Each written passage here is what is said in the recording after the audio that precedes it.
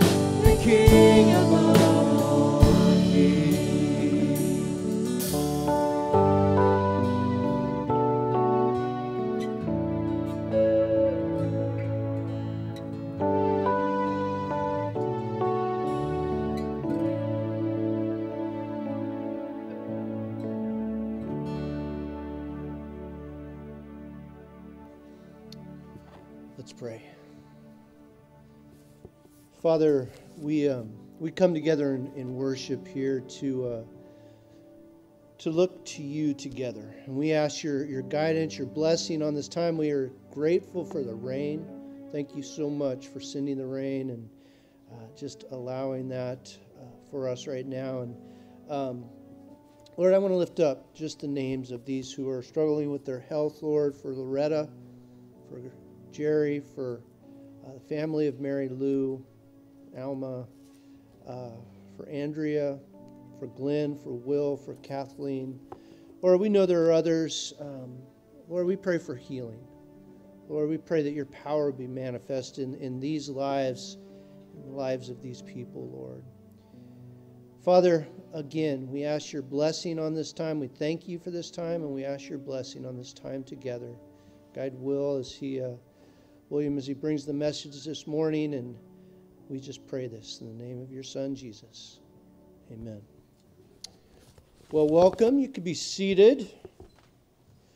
Welcome on this rainy Sunday. They were right. It really is raining out there. Um, uh, if you decided to stay home, we understand, but uh, you're the brave ones here. Made it out in the. Probably even got a little wet from the car inside. We have some things coming up. Um, next Sunday is some sort of harvest festival that I'm kind of calling Churchoween, because that's just an awesome name. Um, so we're going to have a, a, the kids have a song they're working on. You can dress up, uh, you know, wear your your your favorite non-gory costume, and uh, if you would like, uh, and afterwards we're going to have a potluck. We'll we'll also have some food that the church provides, but you could bring something to share. Uh, it's supposed to not be rainy next uh, next week. I've looked. And Sharon and I are doing a, a booth where you throw darts at the balloons because I love that booth. And uh, basically, things like this are all about me, and I love that. I want to do it.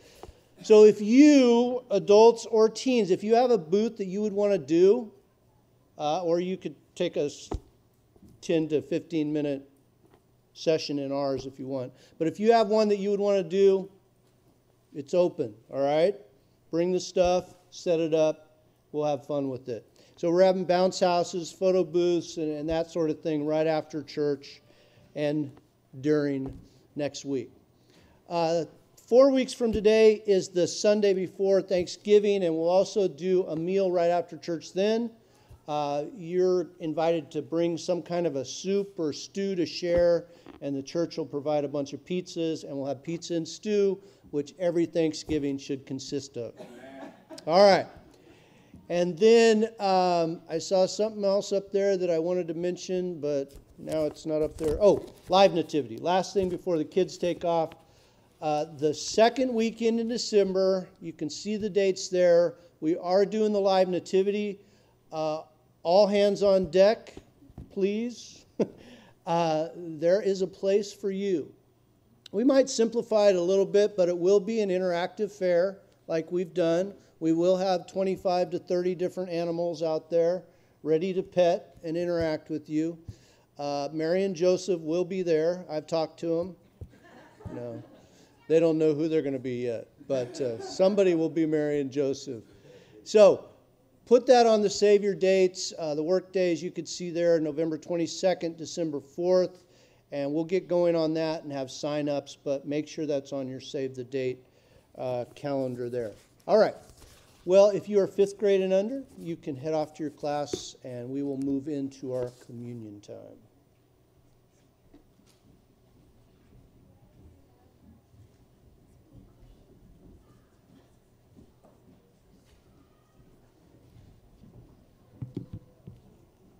Let's read off the Kool-Aid notes right here.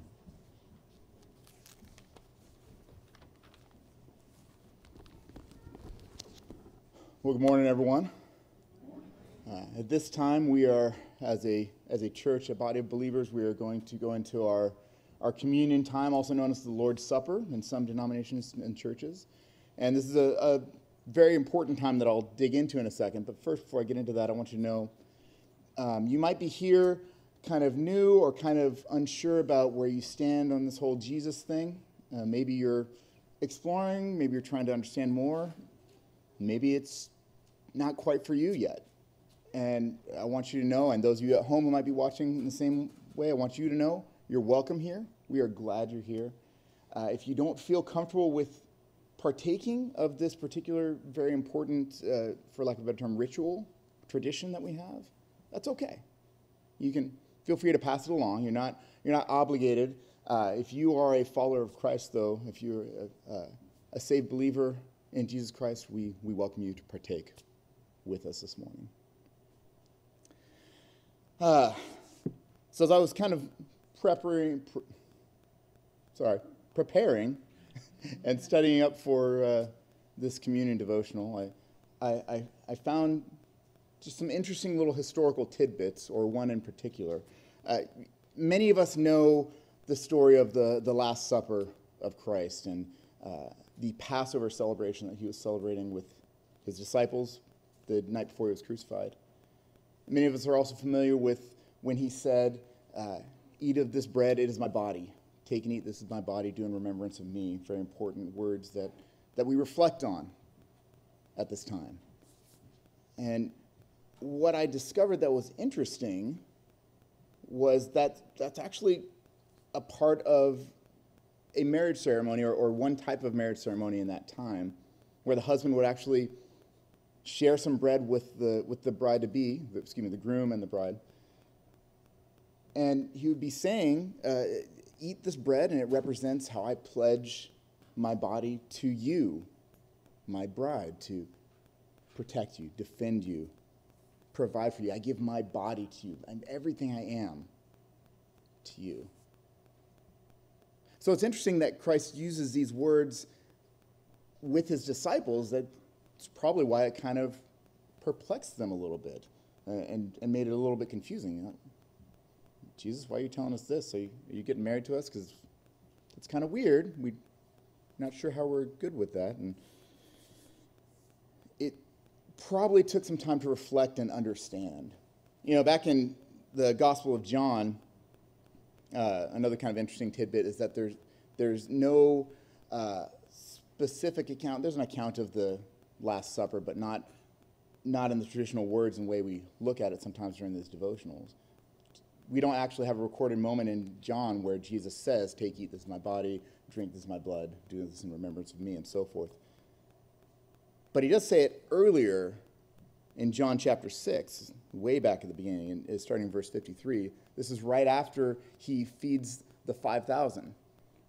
And he says, uh, you know, his, disciples and a bunch of people actually are saying, you know, how what are you saying when you, when you say, This is my flesh to eat? What are you talking about? And he says, Jesus says, I tell you the truth, unless you eat the flesh of the Son of Man and drink his blood, you cannot have eternal life within you. But anyone who eats my flesh and drinks my blood has eternal life.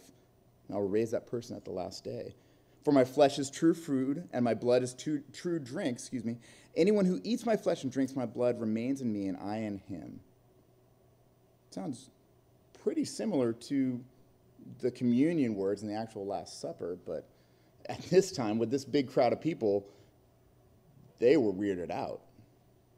Like, what would you do if Pastor Bill came up here and was like, look, you got to just take a chunk out of my arm right now, take a bite?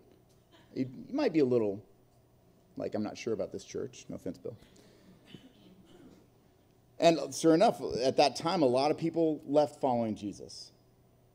They, they gave up on what essentially was eternal life because they were confused and this was a level of commitment that they weren't sure of and it was it was a, these words that kind of were meant for maybe a sacred marriage ceremony but not just for preaching a sermon and talking to people. And they were like something's something's off. I don't know what to do with it.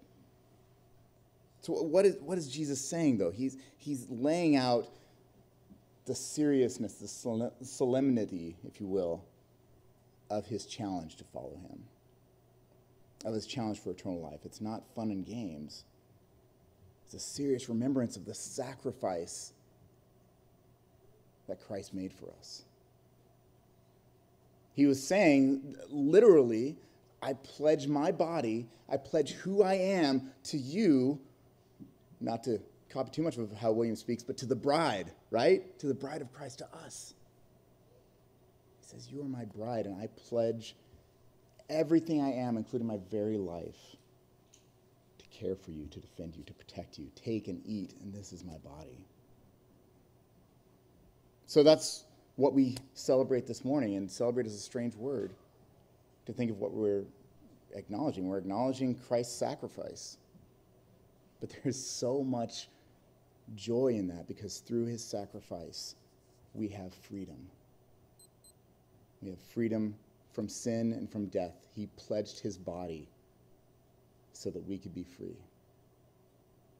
If you would like to partake, there are stations at one, two, three, I think four different, five different areas of the church. and uh, feel free. These are these are individual packets. If you're at home watching us, we, we encourage you, you know, whatever elements you can find to partake, crackers, bread, juice, wine, whatever it may be, we encourage you to to partake as we celebrate the sacrifice of Christ together.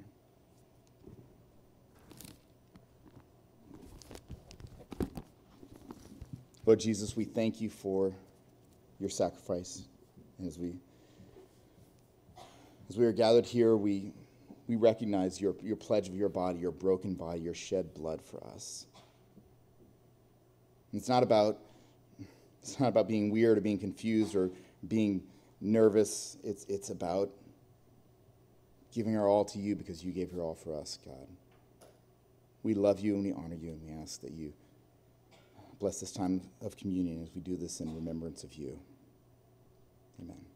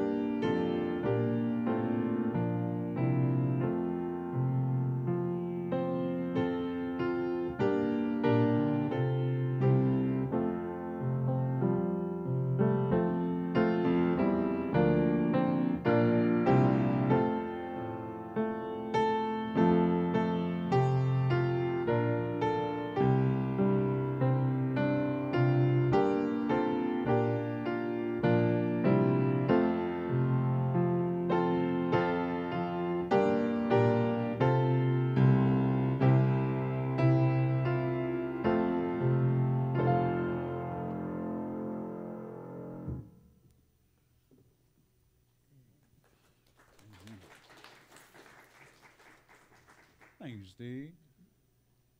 Steve's going to teach me how to play the piano. I'm going to learn in five days. Watch. good morning, good morning, good morning. Welcome to Morello Hills Christian Church, those of you that are here, and welcome to Morello Hills Christian Church online for those of you at home. Um, it is an honor and a pleasure to, to be serving up the word this morning. And what I want to do is give a, a quick overview of where I'm going so that, and the clicker as well, so that as I go, the question isn't, oh dear, where's William headed to? But rather, we know exactly where William's headed to. So I'm going to be focusing on John chapter 11. Shortest verse in the Bible. What? Jesus wept, right? Many of us in this room have probably won a lot of contests that way. What's the shortest verse in the Bible? Jesus wept. Now, the question though is why? And the second question is, will you? Jesus wept, and will you? And so as I go through this, I'm going to be exploring exactly why he wept, what brought him to the place of weeping, but also, even more so, what was moving him and what he was showing about himself that he is the resurrection. He's the only resurrection. And as I go through this, at the very end, I have a poem that I would like to share that Zach is going to play for us. Um, and, and it goes to the point of why we celebrate, why we know Jesus as the resurrected Christ, our eternal life. And so, how's that sound? All right, all right, all right. All right, all right, all right. But before that, I want to pray. Father,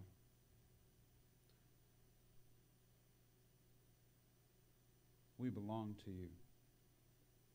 All who have put their trust in the Christ belong to you. All that you have breathed your eternal life into belong to you. To trust, to know through every aspect of life, we belong to you.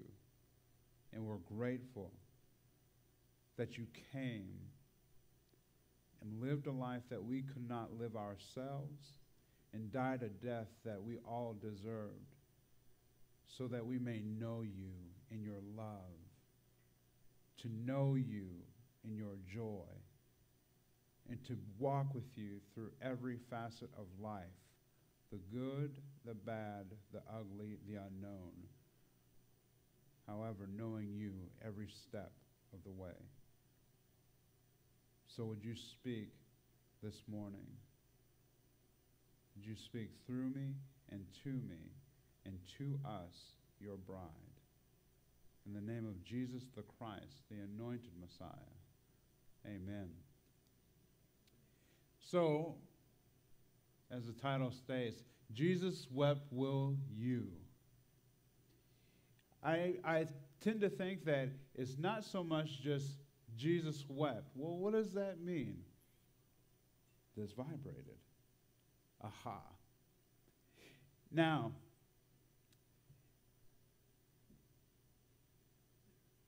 that's not on. well, glad I printed out my stuff. Aha. A desperate call for help. What I'm going to be doing is not just going through Jesus Wept, 1135, but I'm going to have all of the information, per se, on the screen so that I summarize a lot of it. Um, but also that you have the ability to look at it for yourself. I encourage you to go home today through this week and study it for yourself because I am offering a perspective of what the, what the gospel is already saying.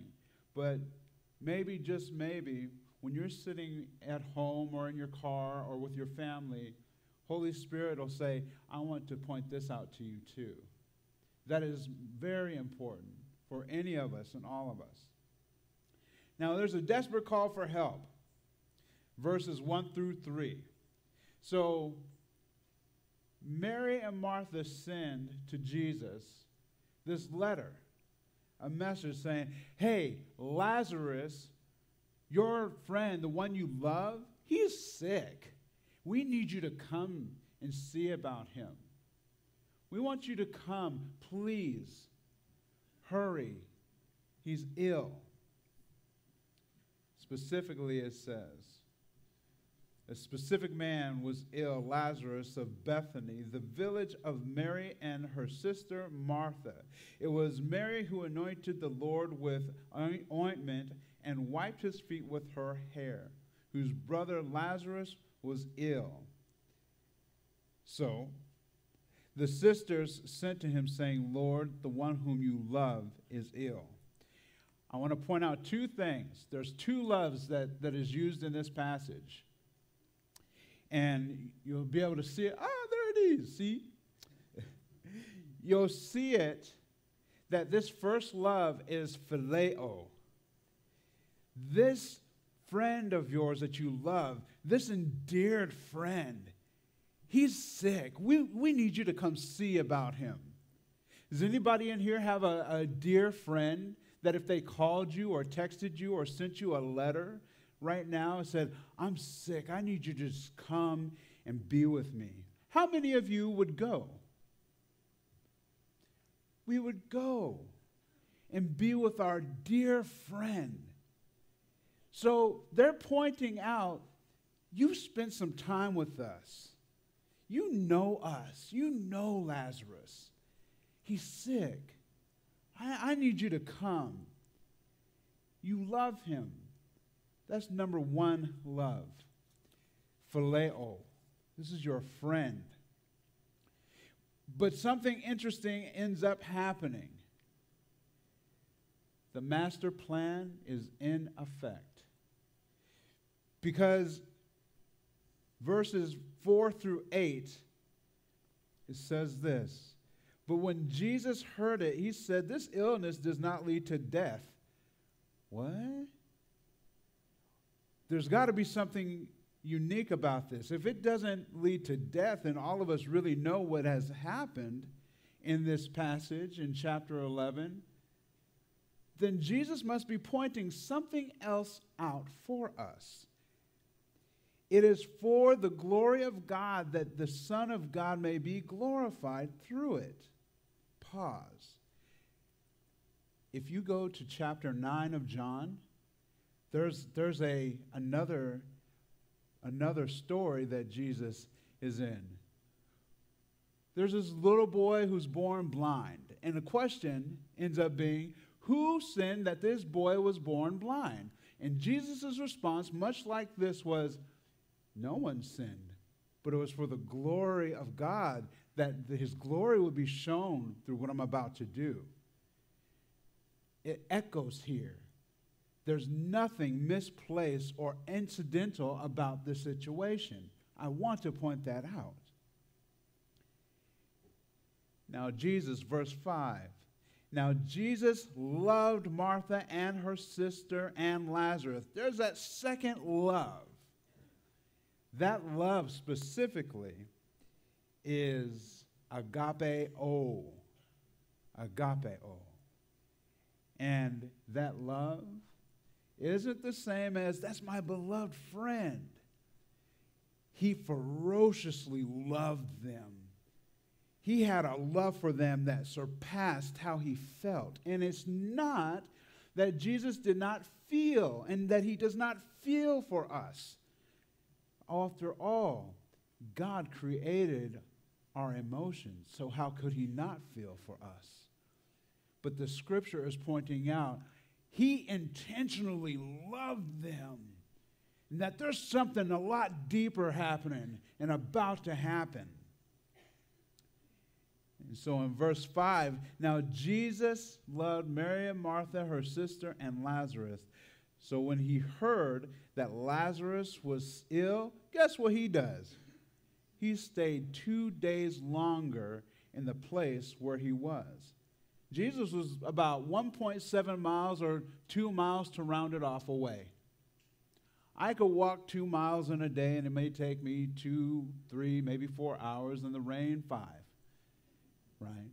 But Jesus intentionally decides to stay where he was after he received, Your dear friend is sick. Come see about him.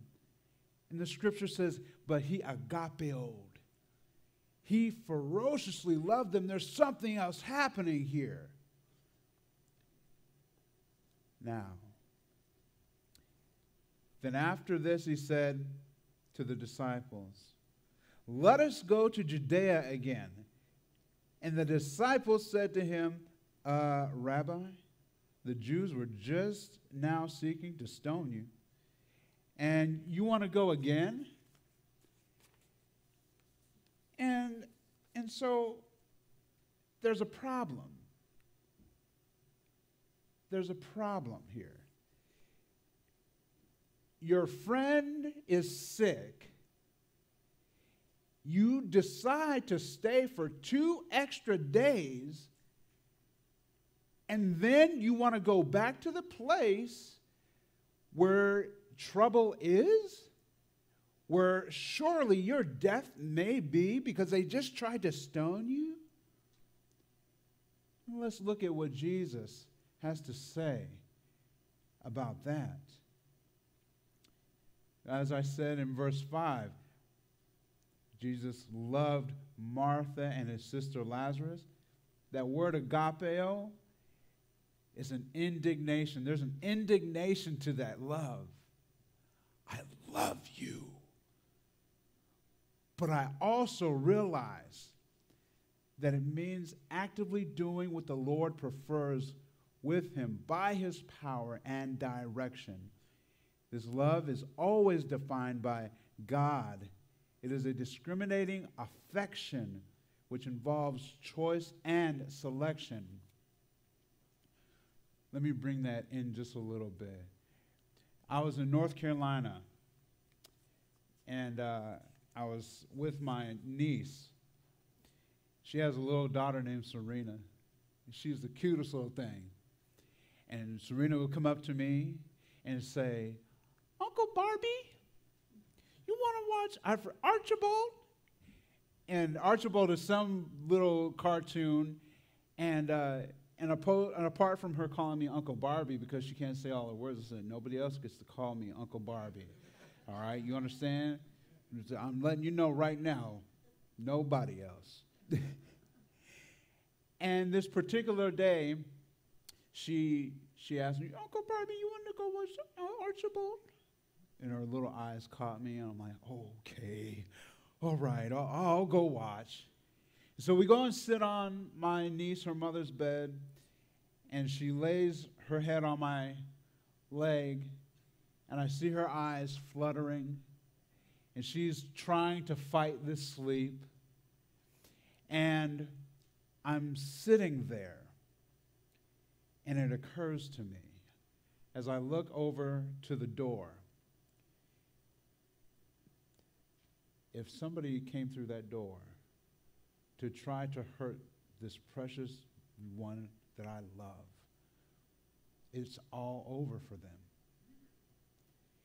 And, and I'm just being honest. I'm just being honest. That is, that's what rose up in my heart. Like if anybody came after her, it's all over. And Holy Spirit said, Son, that's how I've always loved you. With that kind of ferocious love. You belong to me. That's how he loves us. You belong to me. And if anyone comes after you, I'm going after them. That's how I want you to protect. I love you. And so, that is something I think we often miss when we talk about love of God. Is is kind of this abstract love. Oh, God loves me. Well, what does that mean? What does it mean that He loves us? Is it something that is just, you know, popcorn, cotton candy, and, and, and whatever else you could think of? Or is it a tangible, like, man, I belong to Him? I'm His son. He's my father. Those are two different things. It's the difference between phileo, that's my endeared friend, and agapeo, I have a deep love for you. You belong to me. And whatever I have to do to get you, I'm going to do it. Now, walking with the Master means walking in the light. In verse 19, not verse 19, in verse 9 through 14,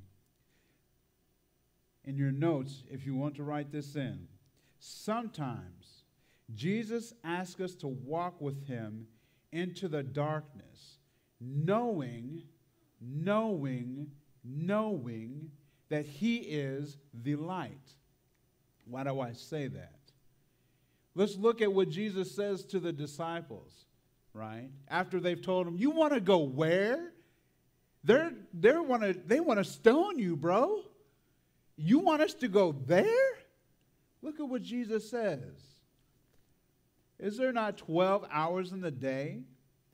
If anyone walks in the day, he does not stumble because he sees the light of the world.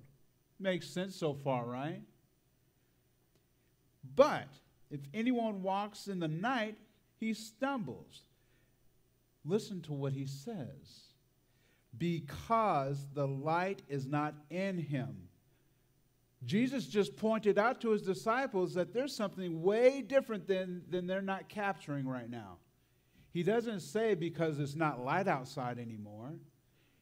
He says the light is not in them. He's, he's inviting them to, to know who he is. He's not talking about the natural light, he's talking about himself. After saying these things, he said to them, Our friend Lazarus has fallen asleep, but I will go and awaken him. They still don't get it. The disciples said to him, Lord, if he's fallen asleep, he'll recover. Now, Jesus has spoken of his death, but they thought that he was just speaking about the rest and sleep. And Jesus told them plainly Lazarus is dead. Now, I'm just going to let that go. I ain't worried about it. Sometimes in our situations, you know, much like even my own, I was about to go to do this master's. Passionate about doing this master's. Something I love to do, and all of a sudden, bam! Punched in the chest. But, but, but God, why? Why? What, what did I do? What's going on? And maybe, just maybe, and for sure I believe, He's showing me something different about trusting in Him. It's like you don't get it quite yet, but I'm inviting you to see something about who I've created you to be also.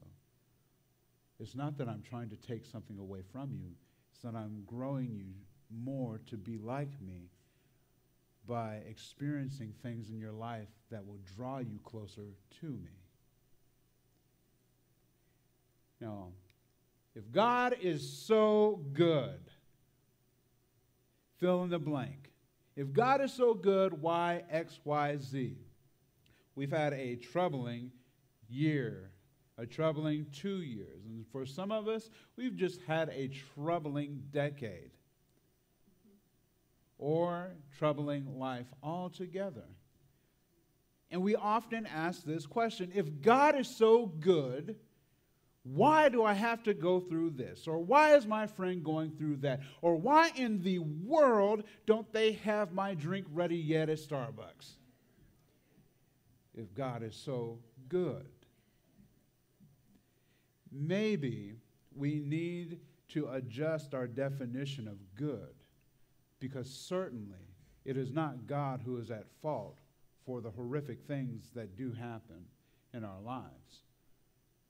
Now, does he allow things to happen? Absolutely. I could tell you that from my own personal experience. But it does not mean that he's not good.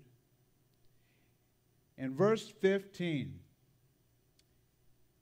and for your sake, Jesus said, I'm glad that I was not there so that you may what? Believe. Now let's go to him. Oftentimes, the situations that we're going through, whether they be good or bad, ugly, sad, all of those things, I'm drawing you in this way so that you believe in who I say that I am. I want you to know me. I'm the king, I'm the eternal one. It is not that I'm, I'm hateful or spiteful or don't care about your situation. But if some things just don't happen, you won't believe who I say that I am. I love you. I agapeo you. And I uh, and I phileo you. And I agape, the full spectrum of all of those. So that you may believe. It's good that that happened, so that you may believe. What does that look like in your life today, or this week, or month, or year? Where have you been challenged with your friends, your family, your job, your community, your faith? Where God is drawing you in by those challenges so that you may believe. Believe what? That He is who He says that He is. Point four sometimes Jesus allows for things to happen so that we place our full trust in Him and our spiritual well being. When hard things happen, definitely for me, it is not just the external things that I'm challenged by, it is also the internal things that I'm challenged by. Am I really loved? My disability really messes me up in the way of saying this. I was talking to to Rachel the other day, and we were talking about some of the challenges we both deal with. And in a vulnerable moment, and I'll just be vulnerable with you here in the room in our home, one of my insecurities is can you really love me because I have a brain damage? And that brain damage has affected and affected my life in a certain way. Can you really love me? You know, or, or will that be too much for you? Now, the answer was, I'm not going anywhere. Hey, shot down. I'm excited about that. But let's bring it in a little bit more. God, don't you see how messy my life is? Don't you see the things that I struggle with in my mind and in my heart? You can't really love me. There's no way. I, my marriage is all jacked up. There's no way you can fix that. I don't got enough skill to get that job. You can't really help me get that job. You know, I, I don't know what's going to come tomorrow, but I, I'm thinking about just forget it. I don't want to wake up in the morning. You can't really help me. I can. I am. I will. I need you to trust in me not just for the external, but for the internal. I am the resurrection. All of those things. And so it's not just that I was listening to what Rue was telling me and, and thankful that she said, No, I'm, I'm not going anywhere. But that's a reflection of how God loves us too. If you will put your trust in me, I will be there no matter how you feel about yourself. But you got to realize, too, that your feelings don't predicate or determine who I say that I am. They don't. They can't. Because I created you, you didn't create me. Now, in verse 16, so Thomas called the twin, said to his fellow disciples, Well, let us just go and we may all die with him then. Let's just do it then, Jesus, since you just don't really care. I mean, let's go. And just like Thomas's skepticism, point five, just like Thomas's skepticism, when unhealthy, it will lead to the death of your heart. What do I mean? We could be so skeptic about the outcome of our life that we lose all hope altogether. And it doesn't matter. And we, we forget that tomorrow hasn't come yet. What do I mean? I mean, literally, tomorrow hasn't come, and we don't know what the Lord has in store for us for tomorrow. Whether it's more challenging than it was today or less challenging than today. Whether it's sunshine tomorrow or it's still raining tomorrow. I would think that most of us will hope that it's still raining tomorrow because in California there's a drought. But tomorrow hasn't come yet. It just hasn't. There's more to the story. It's not over. And so then, therefore, don't allow for skepticism to overtake your heart and mind. The enemy would love for you to do that and love for me to do that because skepticism draws us in based upon what is hopeless on the external. But if Christ dwells in us like he says that he does, then skepticism, unhealthy skepticism, must go. It must. It breathes death. And death the enemy loves. Now, the resurrection revealed in the Christ. Encounter with Mary and Martha. Verse 17 through 27, Jesus proclaims who he is as the identity is, uh, whoops, proclaims who he is. His identity isn't dependent on how we feel, but about who he says he is. Now, first you got Martha, and she comes, and then Mary comes. Martha states the facts, right? Jesus, you know, if you would have been here, my brother wouldn't have died. You know that, right? Well, you know I'm the I'm the resurrection. Yeah, I know you're the resurrection, and I know he'll be raised on this on the last day. I know that. But if if you would have been here, we wouldn't have been having this conversation. How about that, Jesus? How about that? It's like, I need you to believe who I said I am. And this, this word believe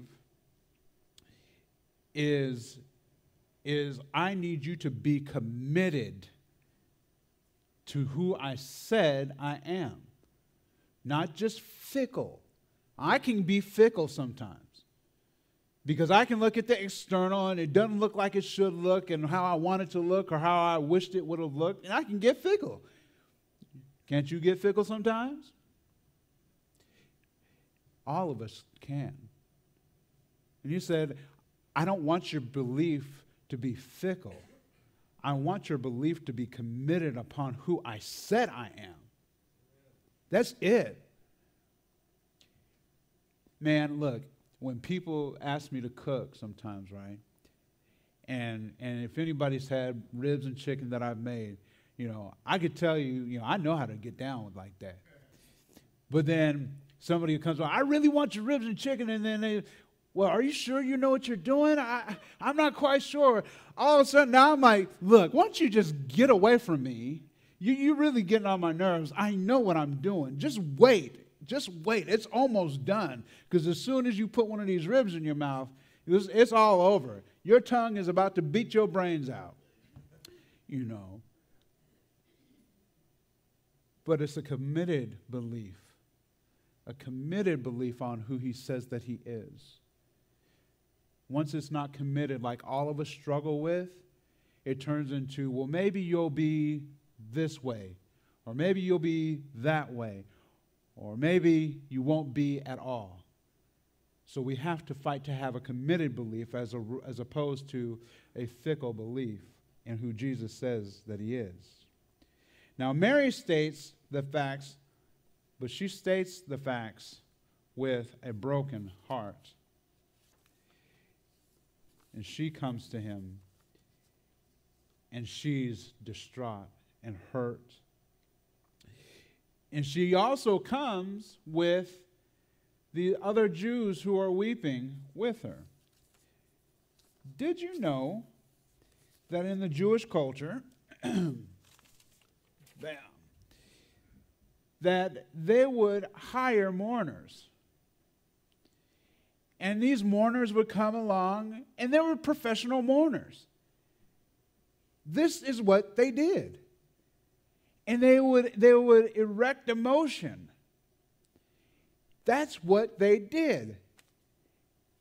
And so, in verses 9, or not 9, what am I talking about? 29 through 37, right? Jesus desires to come, Jesus desires us to come to him with our hearts out and exposed before him. No hired help is needed to move the heart of the master. He doesn't just love with emotion, he loves from his intimate duty to never forsake himself and yet always desiring to draw us to himself. That's our king. Now, I have on there my aunt, and, and I want to share with you this story right quick. That I was in North Carolina, right? And uh, hanging out with my aunt, and one day her uh, grandson was running around the house. He's about five, six years old. He's got a marble in his mouth, right? Just, and she sees the, I don't know how she saw it. I couldn't see it, but that's just grandma thing, right? And she says, Come here. And he comes over, What's in your mouth? And he knows he's in trouble, right? So he's, Marble.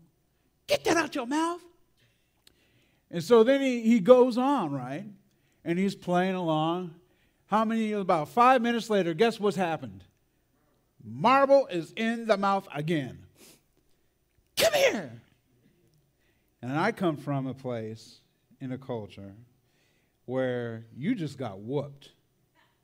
I mean, it. I, I got so many whoopings, it was crazy, man. And I don't. I, I know I, I deserved probably some of them, but I don't think I deserved all the ones I got. But for me, I would get tore up. I mean, tore up. But here's the problem with that it was never affirming. Now, watch this story. He comes in, takes the marble out of his mouth again, and she says, Now go in there, go in that room, put your butt up in the air on my bed, and wait for me. And so she goes in there, and I've got this kind of half crook smile on my face because I'm like, Oh, he's about to get it, you know. And he gets it, and she says, Now you stay in there, and you stay there until I call you. And I'm like, Ooh. Well, that's just what happens in our family. That's just what happened to me growing up. What I wasn't uh, depending on was this. She's sitting down and she calls him into the room. Come here. And I'm like, oh, he's about to get it again. Just, you know, that, that sharp voice, like, oh man, she wasn't done. Come here. And he comes and he's here. I was like, oh man, he's really about to get it. I wasn't counting on this. He comes in front of her and she grabs his arms and shakes him. Don't you know I love you? And I don't want you to die? Don't you get it? I love you. And she is crying. He's starting to cry, and I'm crying. And it's the first time in my life that I see affirmative discipline. And I realize I'm crying for a couple of reasons. Because I wish that that's the kind of discipline I received when I was getting tore up, so that I wasn't afraid of discipline. And I was crying because I saw the beauty of that very discipline that she showed him. And that discipline is the same discipline that God gives for us. That is agapeo. I will do what I need to. You belong to me. You're my son. You're my daughter. But I will never, ever, ever reject you in my discipline. It's to draw you in to know me. You belong to me. And that just jacked me up, man. And so that's how I discipline now. Whether, I, whether it's, you know, other kids, I'll pull them aside. But hey, I am pulling you aside to embarrass you. I'm pulling you aside to show you respect and not to let you get away with, you know, silly stuff, but to let you know that you're loved. I will protect you, but you ain't going to act a fool here. and so, as I move on,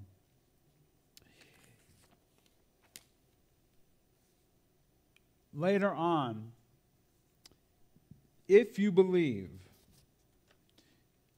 if you believe, you'll see the glory of God. Now, I want to read this particular part in 38 through 44 quickly. Then Jesus deeply moved again. That deeply moved again isn't just like distraught, like, oh no, what am I going to do?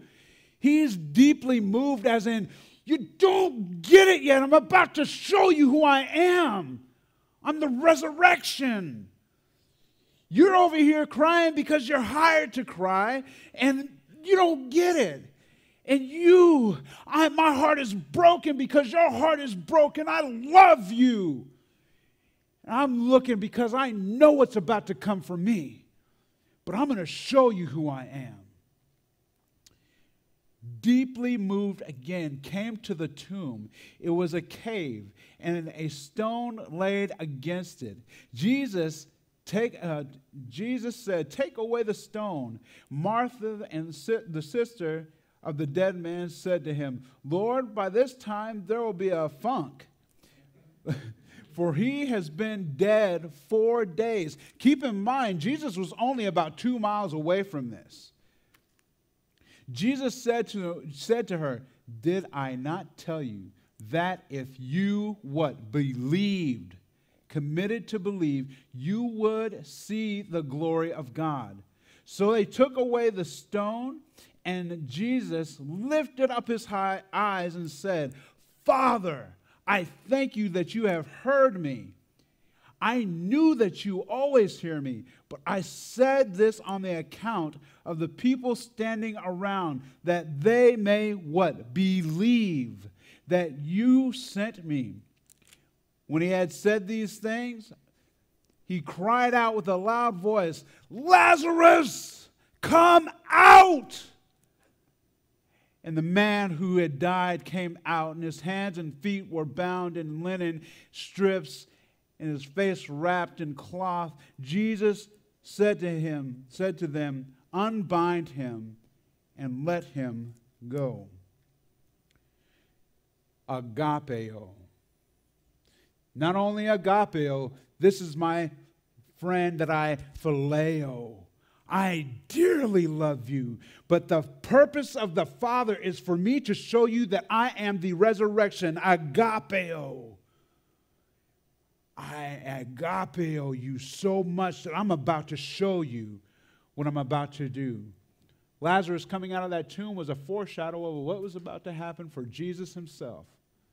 He's about to go to the cross and be put in a tomb. If you believe, you'll receive the glory of God, which is the resurrected life in Jesus Christ alone. And lastly, the glory of God is the resurrected life that is found in Christ alone, the anointed Messiah. The glory of God is the resurrected life in Christ. We are, if you are in Christ, you are the glory of God. The resurrected life. you have eternal life. That is the glory of God, and the enemy hates that. And our King ferociously loves that because we belong to him. If you have not yet surrendered your heart to, the, to Jesus the Christ, surrender your heart. He wants you. He wants you, and He wants you to know Him. He's beautiful. He's beautiful. That's good. But for everything you go through in life good, bad, ugly, happy, sad, mad, glad, and all the other adjectives He wants you. He wants me. My disability doesn't stop Him. My, my whatever doesn't stop him. Your challenge doesn't stop him. But he wants to bring you through that so that you may know him and be resurrected in him. What needs to be resurrected in your life? Your friends, your family, your marriage, your work, your, your future, your now. What does he want to resurrect in you now? And so, this poem that I have created. Uh, Zach is going to play, but as, as that is about to be played, um, that poem is in your bulletin for you to read as well. But after this poem, I'll ask Steve and the worship team to come up and, and to play one more song. Uh, thank you. Thank you so very much uh, and with that, we will play this poem.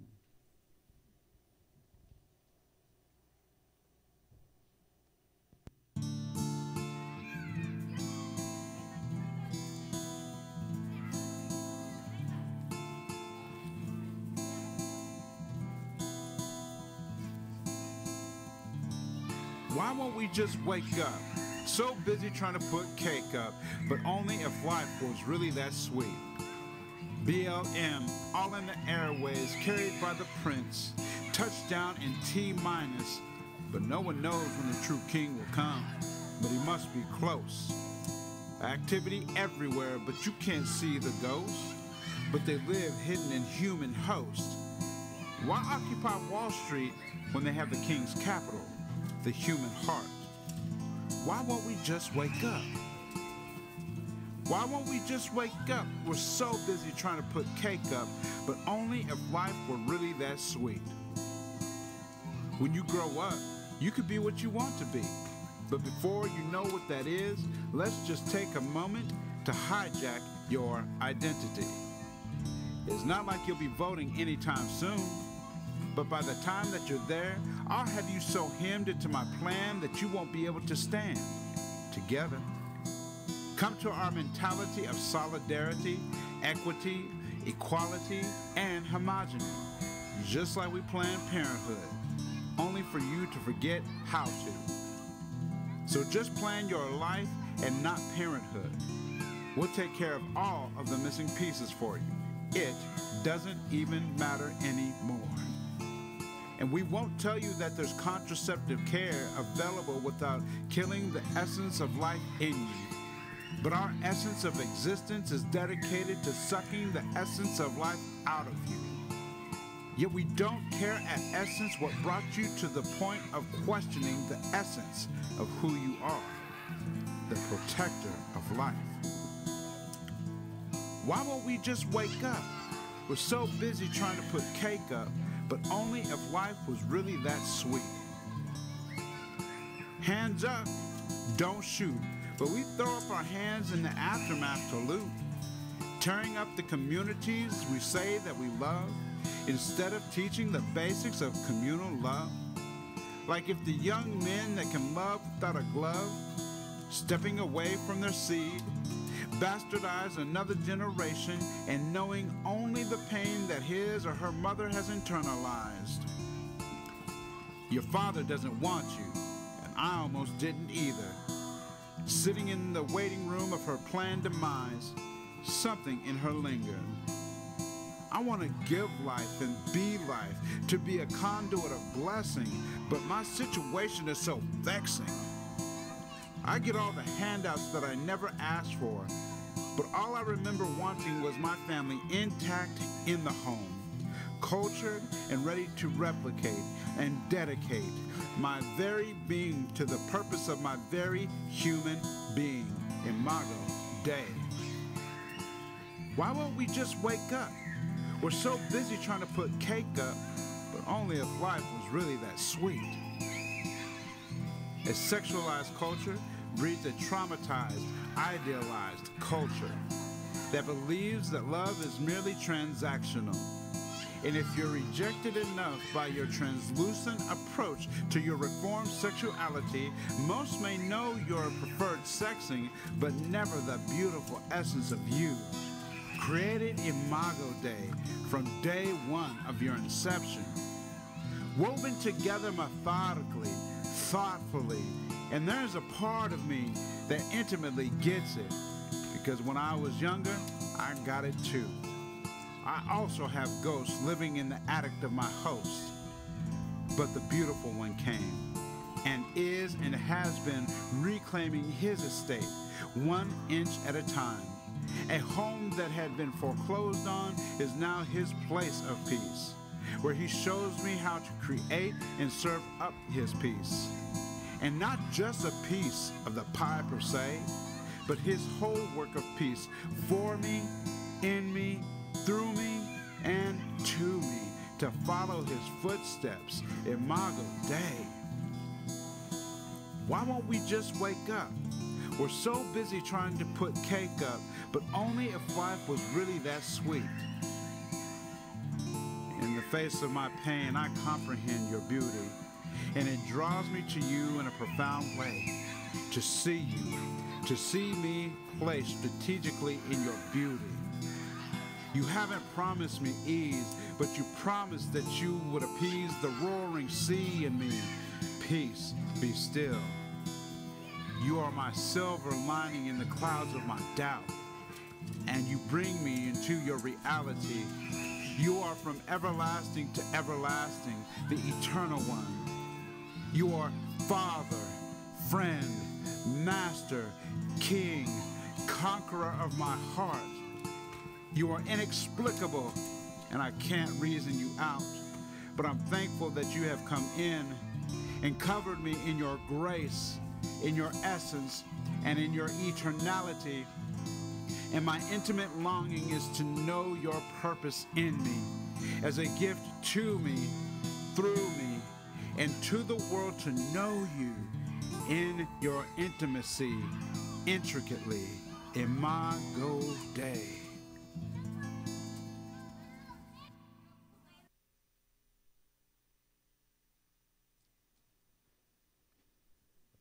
Would y'all stand sing with us? This song talks about that resurrection uh, for us. It's been a long time since we've sung it, but it's a great song. It says, uh, Death was arrested.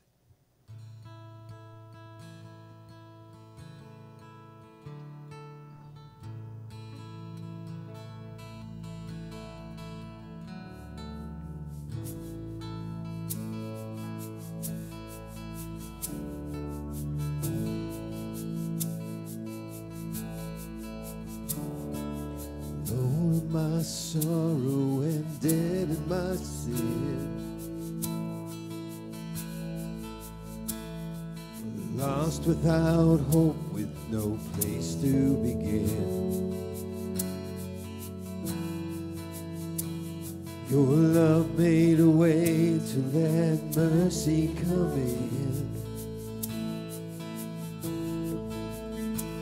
When death was arrested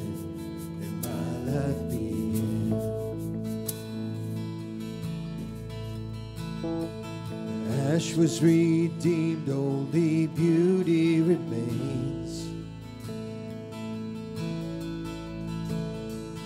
And my orphaned heart was given a name.